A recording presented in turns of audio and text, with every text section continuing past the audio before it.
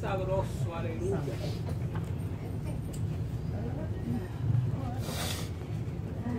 Gloria a Dios.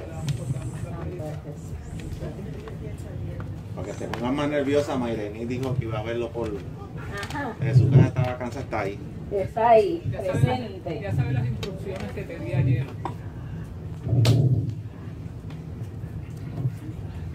Señorito.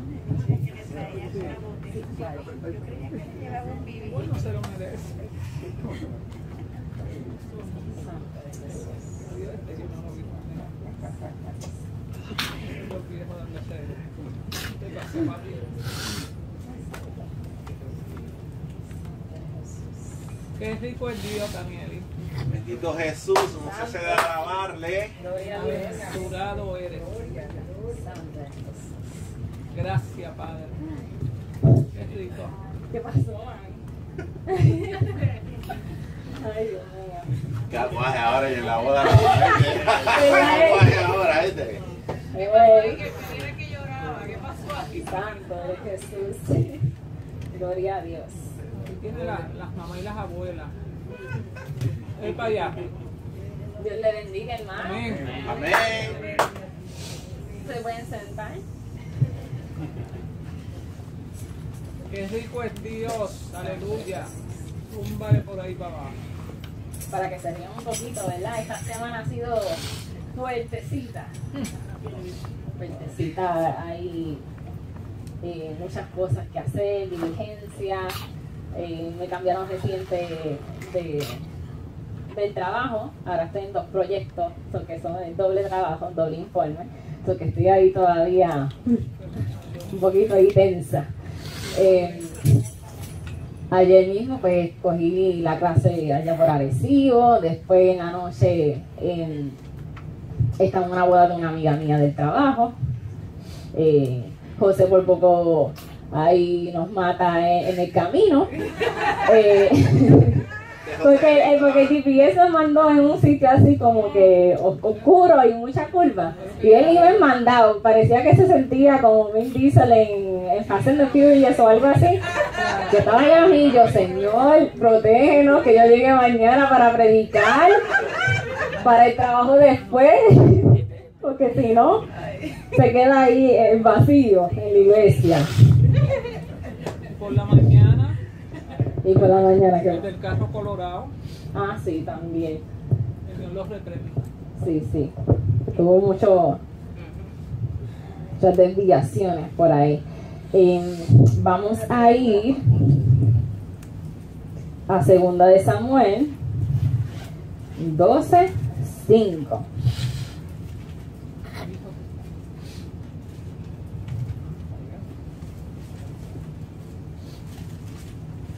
Vamos a tener reverencia, vamos a pararnos para la palabra del Señor.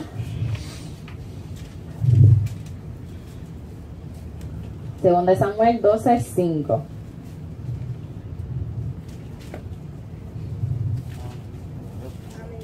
Amén. Amén.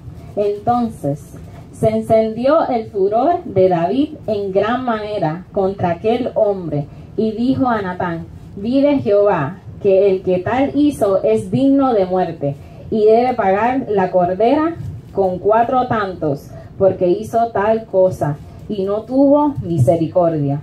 Y entonces dijo Natán a David, tú eres aquel hombre.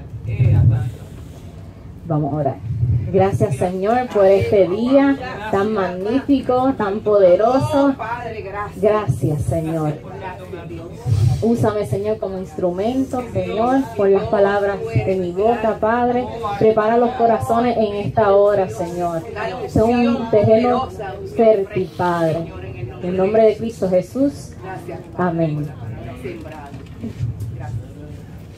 Pues Natán, ¿verdad? Le dice a, a David eso de que tú eres aquel hombre. Pero vamos a ir un poquito al pasado, qué ocurrió, porque Natán tuvo que ir para allá a decirle eso. Y es que era unos momentos de, de la guerra, estaba Joab allá con el líder de la guerra, y entonces David se quedó en Jerusalén. Entonces, él pues estaba paseando en el palacio, normal, chilling, jangueando por ahí, en la terraza, pues ve a una mujer desnuda, obviamente, porque estaba bañándose. Y entonces ahí, pues, llamó a su siervo, le dijo, mira, ¿quién es ella? Y ahí él le dice, no, ella es eh, hija de Eliam, eh, mujer de Uría Eteo. Y dice, ok, está bien, pues dile que venga para acá. Y ahí pues él se acostó con ella, entonces ella concibió, ¿verdad? Un hijo por él, entonces se lo dice, después de, eso se lo dice, que está embarazada, entonces ahí cuando él sabe, manda a Joab, que está por allá en la guerra, le dice, mira, tráeme a, a. Él viene. Recuerda que en los tiempos de antes eso era por cartita. Eso llegaba, tardaba como quizás días, semanas y cuidaba un mes para que llegara. Él llega. Y entonces David, como que pretendiendo que no va la cosa, dice, ¿y cómo va? ¿Verdad? En, allá Joab, su salud, cómo va la guerra, cómo, cómo estás tú, whatever. Y él dice, no, todo va bien, estamos bien. Entonces, él le dice, pues nada, descansa, ve a tu casa y gracias, ¿verdad? Por, por su labor, como uno dice. Pero Urias no fue a su casa. Él se quedó ahí fielmente con los otros siervos y entonces David supo eso porque los siervos se lo dijeron. Y él se quedó, mm, ok. Le pregunta a Urias, mira, ¿qué pasó? ¿Por qué no te fuiste para tu casa? Y él dice, pero porque yo me tengo que ir para mi casa. Si los demás están allá en la guerra, yo tengo que servirte a ti, yo soy un siervo, yo estoy para ti. Y entonces se quedó, ah, bueno, pues está bien, pues te queda hoy. Que quedarse hoy. Lo, le dio de comer, lo emborrachó también porque le dio también de beber. ¿Verdad? Me imagino que esperando que, que se fuera por ahí con la mujer borracho y se acostara con ella. Eh, pero, ¿verdad? Eh, ese, ese tramo ahí. Y no fue, no fue para su casa. Y entonces David le dice a Joab que, que lo ponga al frente en la, la parte de la batalla, en la guerra, que lo ponga al, frente y que se retiraran para que entonces lo hirieran y lo mataran. Entonces, entonces, obviamente Joab él lo hace, ella está allá en la guerra y entonces le escribe Joab a David de que ya, ¿verdad? Ocurrió el evento, ya lo hirieron, ya se murió, entonces los siervos, ¿verdad? Le, están con él. Y entonces él le va escribiendo a Joab de que no te preocupes. Uno se muere, otro, se, otro fallece, ora uno por otro, que bien y van, bien y van los, los, guerreros, como uno dice. Entonces, al enviar eso, en la mujer de Urias se entera, entonces ahí ella hace luto, sería proceso de luto, porque obviamente cuando se muere el marido, pues tienen que estar, me imagino, vestidos de, de negro o cubierta. Entonces pasó eso, y entonces David la tomó como mujer, la llevó para la casa. Ahí dio a luz al niño. Y entonces asumo yo que ya pasaron demasiados meses, porque obviamente nueve meses el embarazo dio a luz. Mucho tiempo, mucho tiempo. Y después llega Natán, enviado por Jehová, para decirle, metafóricamente, una parábola, para que él entendiera lo que había hecho. Vamos a ir a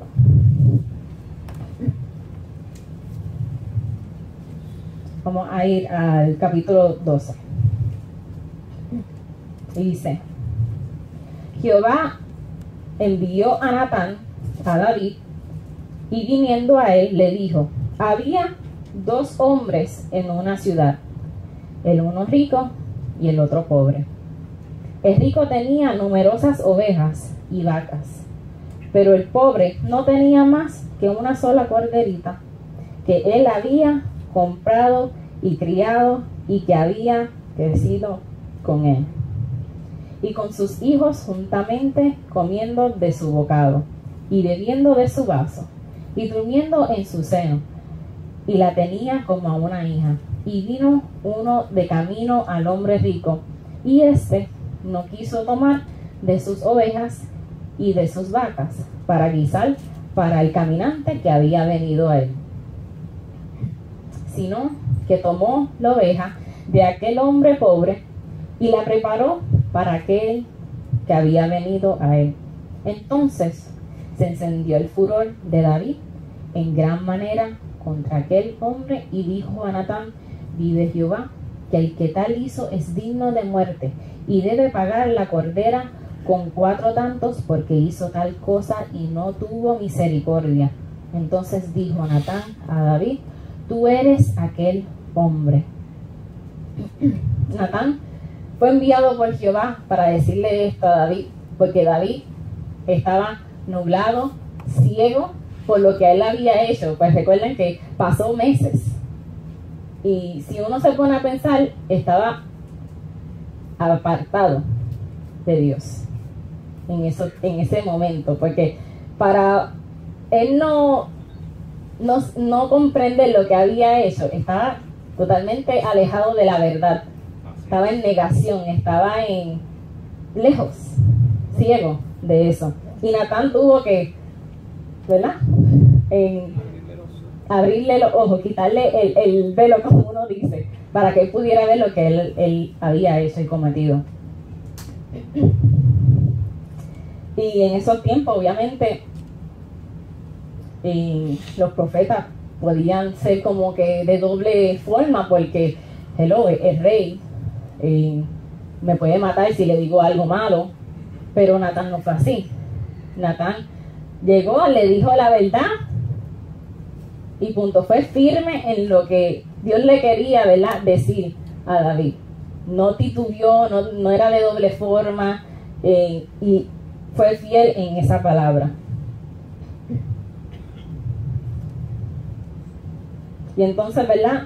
Eh, la metáfora que él utilizó, la corderita, pues obviamente es la mujer de Urias, porque eso era lo que tenía Urias como tal. Y entonces los reyes en ese tiempo tenían muchas mujeres. Era así. Y entonces, por él en decidir escoger esta mujer que sabía que estaba casada, como quiera. Eh, fue como un capricho de David en hacerlo. Porque ya tenía sus mujeres, no, no. ¿Para qué tener otra por ahí si ya él tiene demasiado?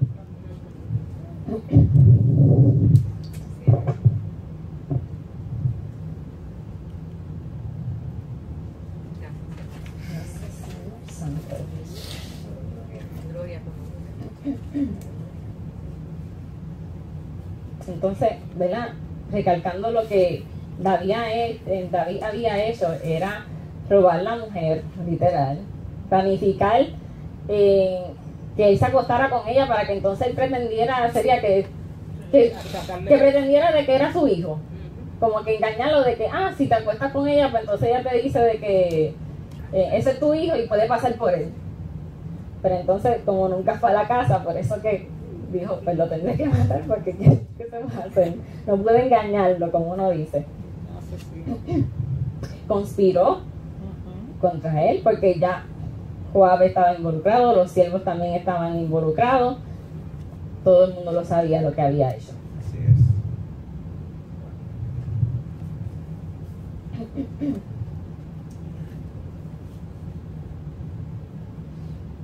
es.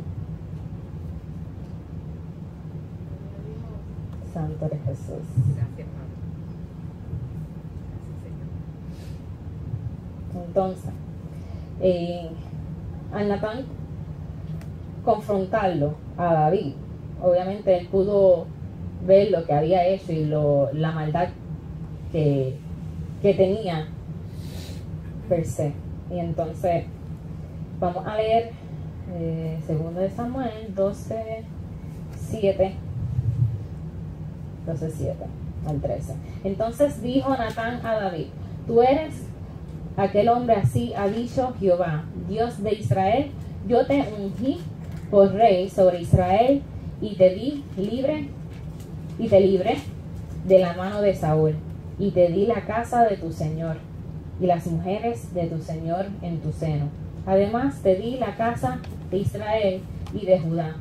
Y si esto fuera poco, te habría añadido mucho más. ¿Por qué pues tuviste en poco la palabra de Jehová, haciendo lo malo delante de sus ojos? A Orías, Eteo, heriste a espada y tomaste por mujer su mujer, y a él lo mataste con la espada de los hijos de Amón, por lo cual ahora no se apartará jamás de tu casa la espada por, por cuanto me menospreciaste y tomaste la mujer de Urías, Eteo, para que fuese tu mujer. Así ha dicho Jehová, he aquí, haré levantar el mar sobre ti, de tu misma casa, y tomaré tus mujeres delante de tus ojos, y las daré a tu prójimo, y él, cual yacerá con tus mujeres a la vista del sol, porque tú lo hiciste en secreto, mas yo haré todo delante de todo Israel y a pleno sol. Entonces dijo David a Natán, pequé contra Jehová. Y Natán dijo a David, también Jehová ha remitido tu pecado, no morirás. En ese momento, ahí es que él verbaliza y dice, pequé contra Jehová. No, no dijo, qué sé yo, lastimé a tal persona, pequé contra Jehová, porque sabía su relación con, con Dios había sido lacerada. Así es. Y por eso que con él es que uno siempre hay que rendir cuentas. Entonces, obviamente Natán le dijo de que Jehová ha remitido tu pecado, no morirás. Estaba pensando, cuando dice no morirás, obviamente el, la paga del pecado es muerte. Y entonces el pecado que él había hecho, que Dios haya dicho, no morirás, es remitido tu pecado, es otra oportunidad Santo. que le dio Dios a David.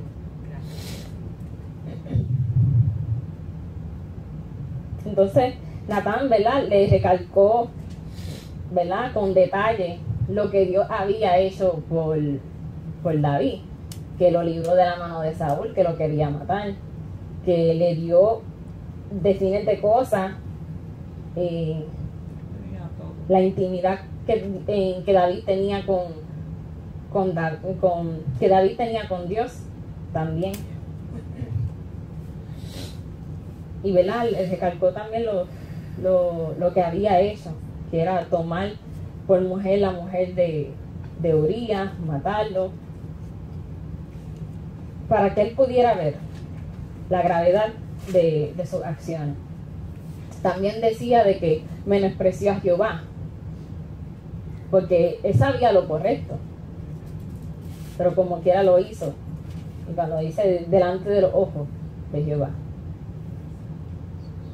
Y con todo eso que él había hecho, Dios como quiera le dio esa otra oportunidad para poder ser libre. Al David ser iluminado, ¿verdad? De su pecado, se arrepintió de tal manera que tuvo un quebrantamiento genuino. Ahora vamos a ir Salmos 51.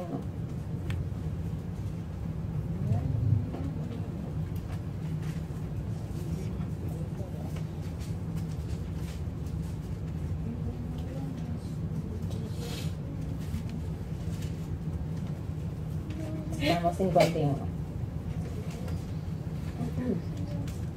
Y dice, arrepentimiento y plegaria para pedir purificación.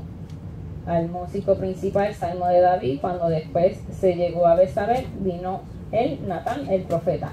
Esto fue exactamente cuando ya llegó Natán, él le dijo todo, y entonces se quebrantó, se humilló en la presencia de Dios. Y él escribió este salmo después de ese evento. Y dice, ten piedad de mí, oh Dios, conforme a tu misericordia, conforme a la multitud de tus piedades, borra mis rebeliones. En esta parte, David fue tan quebrantado que vio su fragilidad humana. Y entonces, a él ver eso, sabía dónde es que venía el, poder real, que era de, de Dios. Lávame más y más de mi maldad y límpiame de mi pecado, porque yo reconozco mis rebeliones y mi pecado está siempre delante de mí. Me gusta mucho cuando dice, porque yo reconozco mis rebeliones. Hay que reconocer cuando uno hace las cosas mal, uno falla. Y no es que todo el tiempo vamos a estar ahí señalándonos a nosotros mismos, pero cuando algo está mal, simplemente, el Señor, perdóname. Yo sé que esto lo hice mal. Y reconocerlo.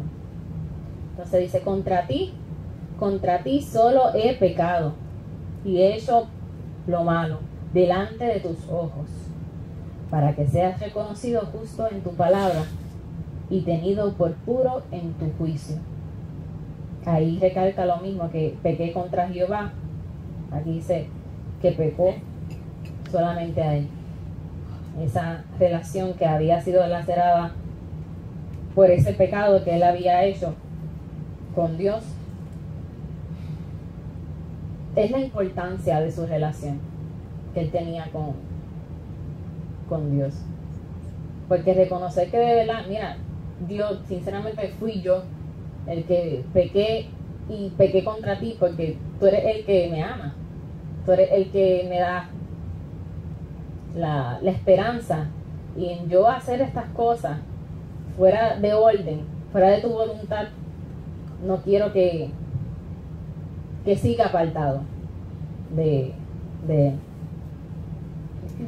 He aquí, en maldad he sido formado y en pecado me concibió mi madre. He aquí, tú amas la verdad en lo íntimo, y en lo secreto me has hecho comprender sabiduría.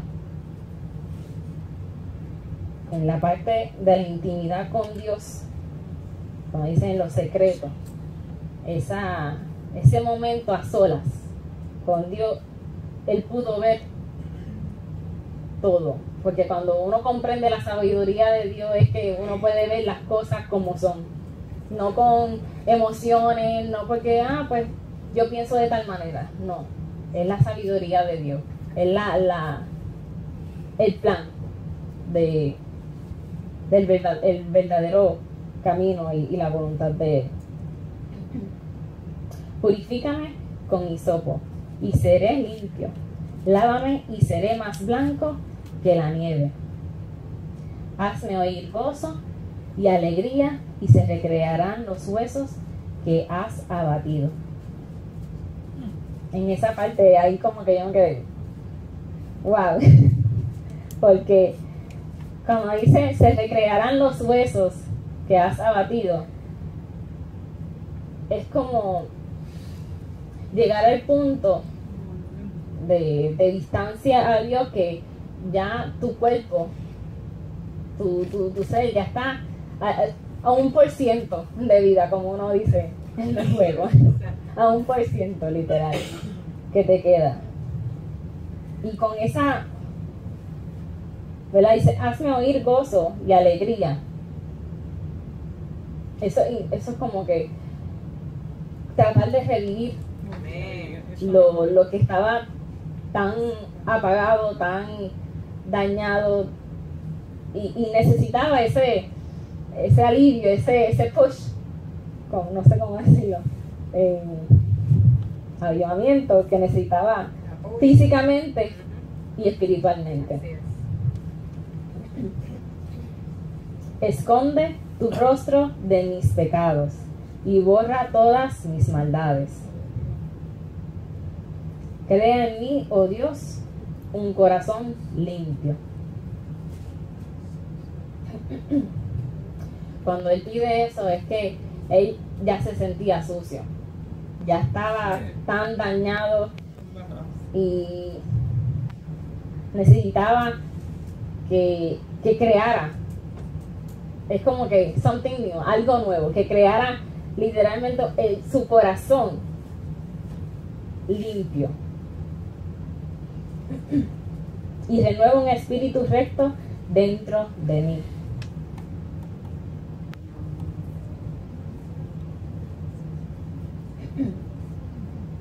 Cuando dice eh, renuevo un espíritu recto dentro de mí, el espíritu es como si fuera su ser, su alma, lo, que es él, no es como que el Espíritu Santo, es lo que quería decir era su espíritu.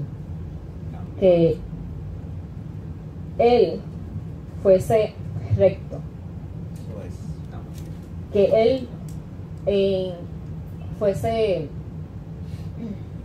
firme en, en cómo llevar su vida, no en que titubeara, no que fuese de dos, de una sola, de una sola pieza. No me eches de delante de ti y no quites de mí tu Santo Espíritu. Cuando dice no me eches delante de ti, David podía estar en la presencia de Dios. Tenía ese privilegio. Y entonces, a él pensar de que como estaba tan apartado, temía de, de no poder volver a esa presencia de Dios. Y entonces, en renovar, perdón, y no quites de mí tu Santo Espíritu. Hay que recalcar algo aquí. Eh, el Espíritu Santo no moraba en las personas en ese tiempo, solamente posaba. Y a él decir, no quites de mí tu Santo Espíritu, es algo tan fuerte, algo sobrenatural que él pudo experimentar en- Revelación. y él te- temer que no volviera el Espíritu Santo. Y nosotros que tenemos el Espíritu Santo every day, todos los días, no llegamos a valorarlo como David hizo en este momento. Y hay que evaluarnos en eso.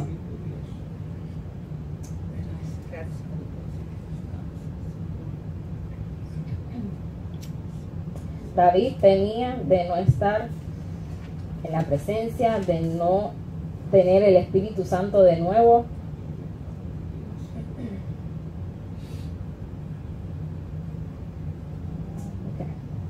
Dice, vuélveme el gozo de tu salvación. Este es el más, el más que me llegó a mí. Vuélveme el gozo de tu salvación.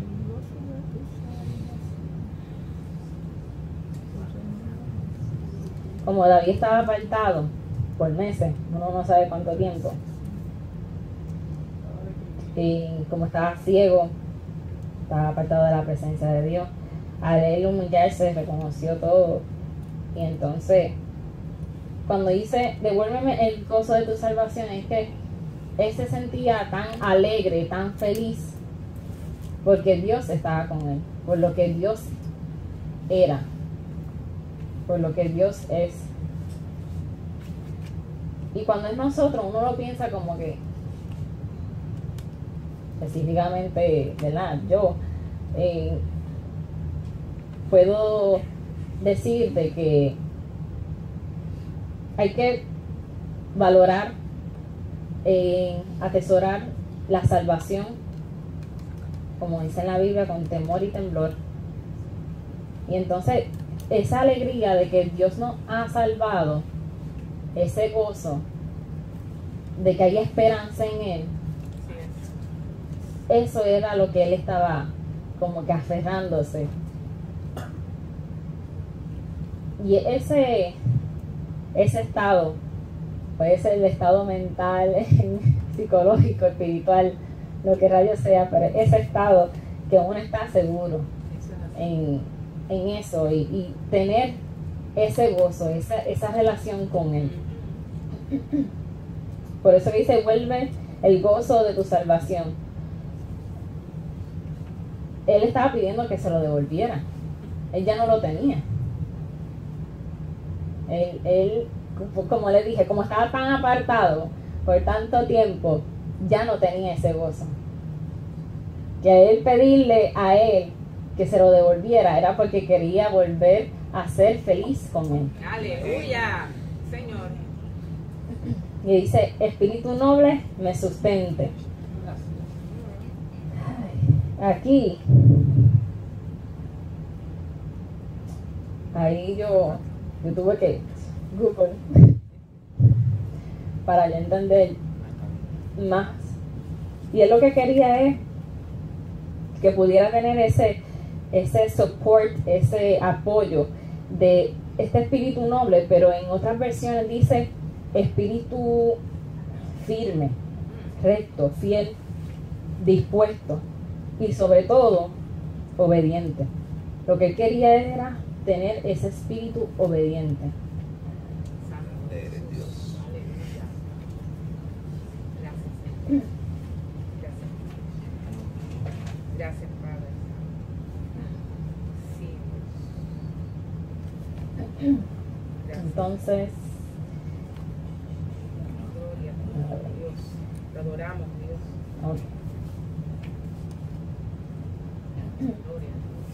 En el 16 dice, porque no quieres sacrificio que yo lo daría. No quieres holocausto.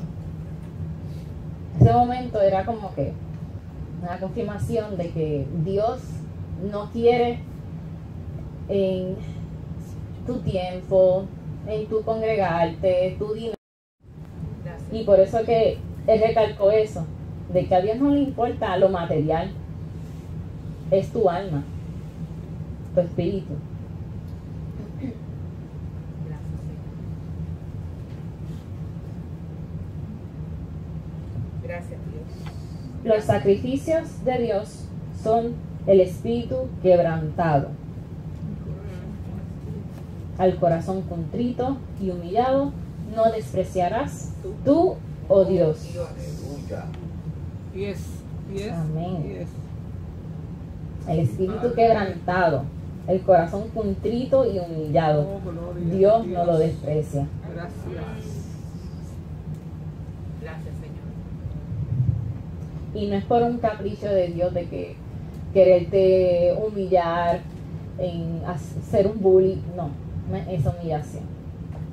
Es. Es tú reconocer tu fragilidad, tú rendirte a Él en su presencia, porque Él cuida de uno, Él, él no está para señalarte, Él no está para juzgarte, Él está para amarte.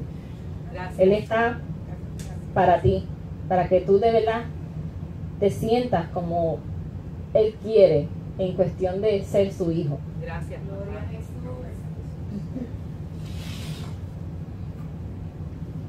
Gloria a tu nombre, Dios. Qué bueno es Dios. Gracias. Tú eres bueno, Señor. Gracias, gracias por tu espíritu. Aleluya. Gloria a Dios. Y cuando tú estás en, en ese proceso de, de corazón contrito y humillado, es para que Él de verdad pueda glorificarse en tu vida para poder sanar, para poder libertarte, para poder restaurar,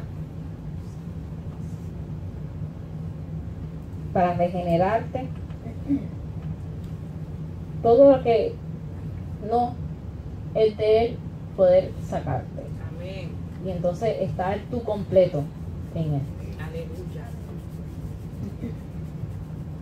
Leer una reflexión.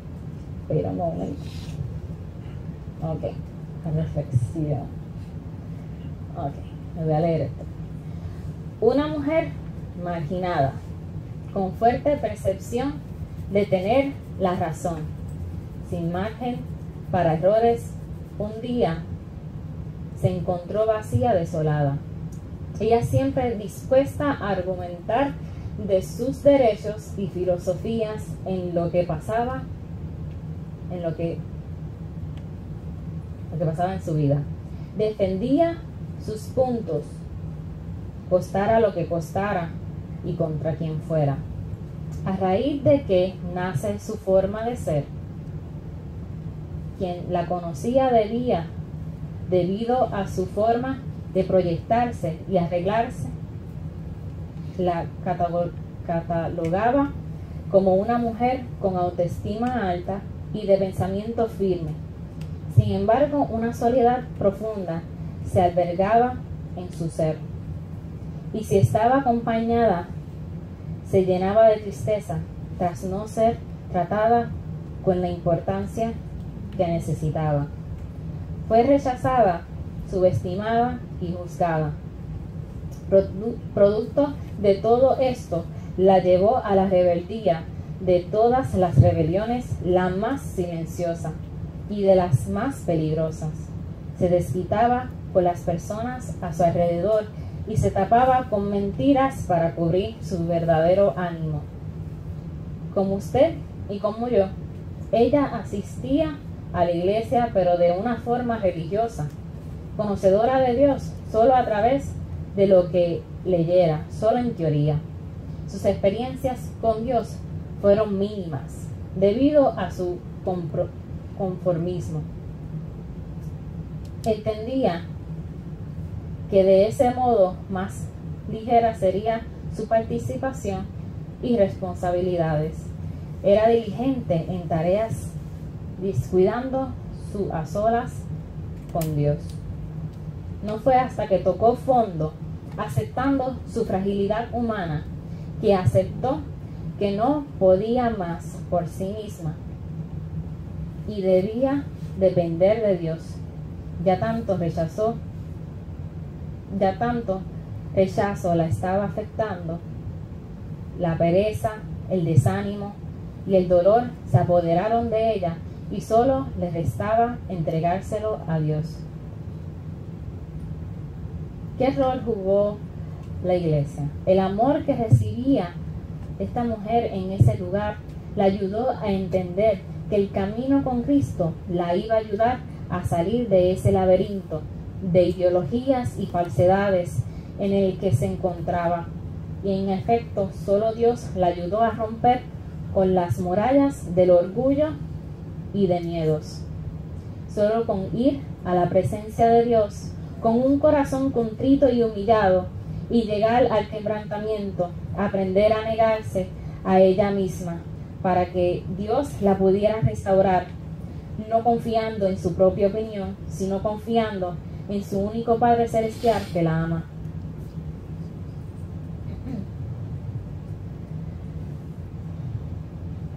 Ahora le voy a preguntar, ¿por qué es necesario uno rendirse a Dios? Es necesario humillarse para que el quebrantamiento, aceptar que no es por nuestras fuerzas, sino las de Dios, la única forma que podremos vivir una vida libre de cargas emocionales y físicas. Y asistir a la iglesia no exime de una, de una vida espiritual apagada.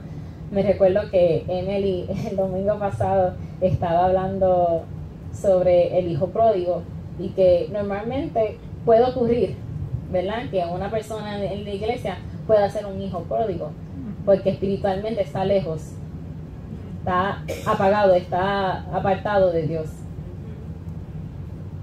No estamos exentos a eso. Por distintas razones, las rutinas eh, responsabilidades de la iglesia, del hogar, del trabajo, de la familia, de cosas personales que nos desvían y llegamos a estar agotados en todo porque perdemos las fuerzas. Y dice en la Biblia, por nada estéis afanosos.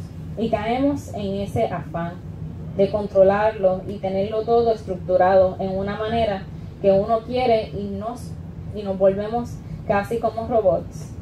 Vamos a la iglesia y decimos ya cumplí, pero en realidad uno queda vacío y apagado. Es necesario negarse a sí mismo, pese a, pese a las experiencias vividas, por más oscuras que hayan sido, para seguir a Cristo. En Mateo 16, 24 dice, entonces Jesús dijo a sus discípulos, si alguno quiere venir en pos de mí, niéguese a sí mismo y tome su cruz y sígame. En este proceso de, de humillación hay que negarse a sí mismo. Porque cuando uno tiene ese, ese orgullo de que, ah, pero esto está bien, lo que estoy pensando no hace daño, o yo estoy bien, no necesito a Dios hoy, puede ocurrir eso. Y hay que ir menguando a nosotros para que Dios se salte. Como cristianos, tanto como la mujer de la reflexión, nosotros tenemos una promesa y se encuentra en Primera de Corintios 2.9. Antes bien, como está escrito, cosas que ojo no vio, ni oído yo, ni han subido en el corazón de hombre, son las cosas, son, la, son las que Dios ha preparado para los que le aman. Esa promesa que Dios dijo, que nos ha preparado algo maravilloso que nuestra mente limitada no nos deja ver. Pero al rendirse en la presencia de Él, algo grandioso ocurre que ninguna religión puede dar, que, se, que es ser restaurado, renovado y regenerado, como David pidió en el Salmo 51. Eso es. Y David amaba a Dios. Y asimismo, como el profeta Natán confrontó a David con una pequeña parábola para ubicarlo a él como el hombre rico, caprichoso, y a la mujer de la reflexión fue confrontada por el libro sabio, quise traerle esa reflexión, ya que así mismo como Natán le dijo a David, tú eres aquel hombre, yo les digo a ustedes que yo era aquella mujer. Aleluya. Gracias. Gracias por tu espíritu, Dios. Aleluya. Este proceso en mi vida ha sido fuerte.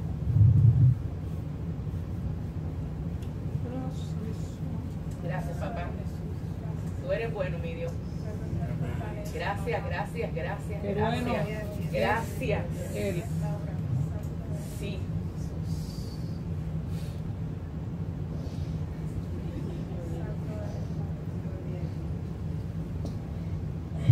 Es que solo en su presencia Gloria a Dios. uno puede ver el amor de Dios bien grande. Eso es.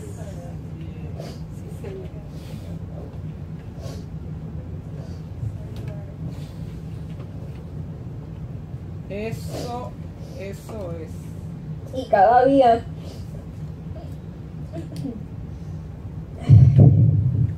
cada día hay que humillarse en la presencia de Dios. Amén, amén, amén. Gloria a Dios. Gracias, Señor. Tú eres fiel y verdadero. Gracias. Tuve que reconocer mi falta, Sí, Padre, gracias. confesarla a Dios, Oh, gloria. porque Él es fiel y justo para perdonar. Gracias, Señor, por tu misericordia para con cada uno de nosotros. Tuve que también cancelar, orar Gracias. todos los días para que pudiera como que quitar la soberbia, la arrogancia, el orgullo, para que de verdad Dios se, se glorificara en mi vida. Gracias. Poderoso Señor, gloria.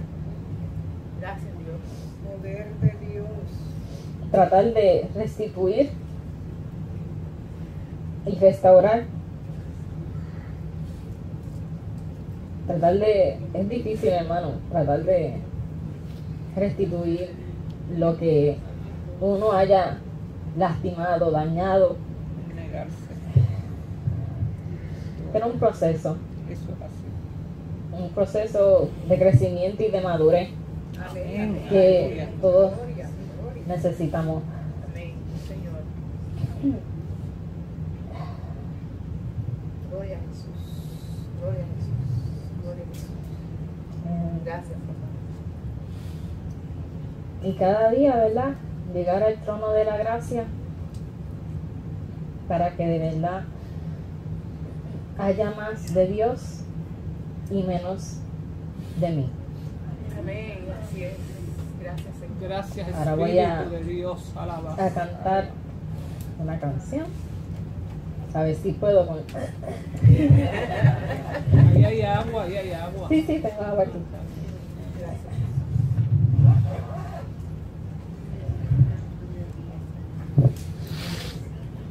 Qué bueno es Dios. Aleluya. Gloria, gloria a Dios, gloria a Qué Dios. rico, Padre. Gracias, Para alabanza. Oh, gloria, alabanza. Oh, aleluya.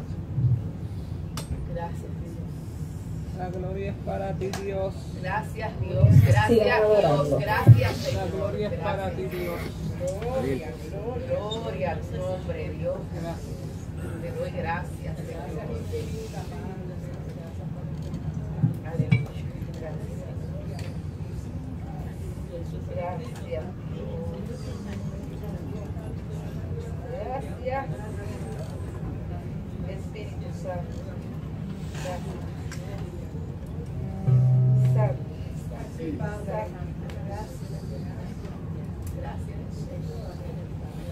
Gracias. Gracias. Gloria, gloria, gloria, gloria a Dios. Gloria a Dios. Qué bueno es Dios. Oh, sí, Dios, tú eres bueno, Señor. Dios, Tú eres bueno, Rey. Dios. Dios, poder de Dios. Dios, Oh, qué bueno, Jesús. Dios. Gracias, Padre Santo. Vuelve Gracias, gracias, alma, gracias. El gozo de mi salvación. Gracias. Un Espíritu Santo.